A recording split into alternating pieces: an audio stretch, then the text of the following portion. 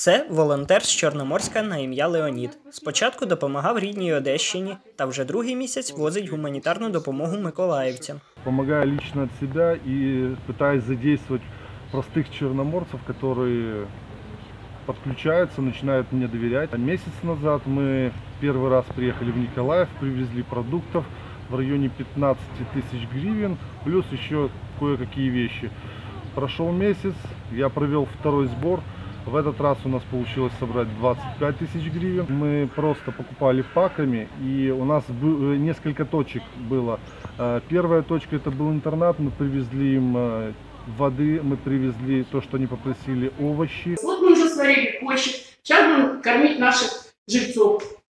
Спасибо огромное всем. Медсестра інтернату Ірина каже, вдячна волонтеру.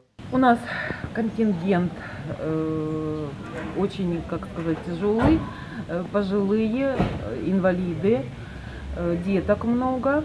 Очень, благодарны, э, очень благодарна Леониду, который привез нам сегодня гуманитарку. гуманитарку. Это овощи, сладости для детей. Очень благодарны, потому что рады любой помощи.